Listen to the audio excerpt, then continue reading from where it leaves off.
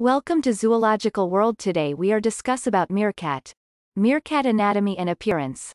The meerkat is a small-sized animal that has a long and slender body with a long and light but black-tipped tail that can almost double the animal's total length. Meerkats are sandy to light brown in color with eight darker stripes on their back, markings on their sides, which are unique to the individual, and a lighter face and underside. They have elongated muzzles with a black nose and dark-colored bands around their eyes. Meerkats are animals with long, sharp claws on their front paws that are curved and can grow up to 2 centimeters long and help them to both dig their burrows and to find small animals that are buried beneath the soft sand.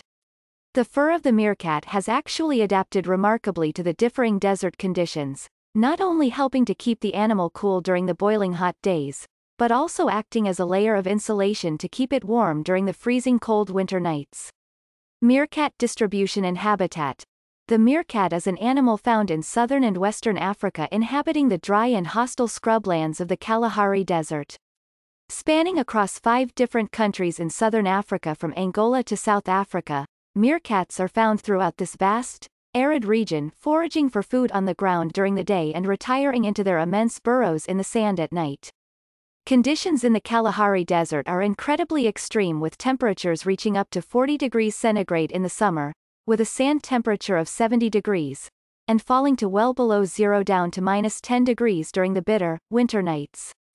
This area of Africa has an incredibly low level of annual rainfall with only a rare, small amount falling generally between January and April and after which, the Kalahari briefly transforms into a well-vegetated and life-filled region before the cooler winter months set in. Meerkat predators and threats. Due to the small size of the meerkat, they are natural prey to numerous animal species that are both on the ground and in the air. The biggest threat to meerkats are birds of prey such as hawks and eagles that can spot these animals from high above their heads, along with ground-dwelling predators such as snakes that hunt them on the ground. In order to try and protect themselves from being so vulnerable in their open and arid surroundings, meerkats adopt the safety in numbers tactic and ensure that there is always an individual on guard to warn the rest of the group of any approaching danger. In places that are closer to growing human settlements and near to areas where domestic animals are grazed, meerkats have been known to contract both bovine diseases and rabies that can affect whole populations of these adaptable and otherwise resilient animals. Meerkat interesting facts and features. If the individual meerkat on guard spots approaching danger they will sound the alarm to the rest of the group.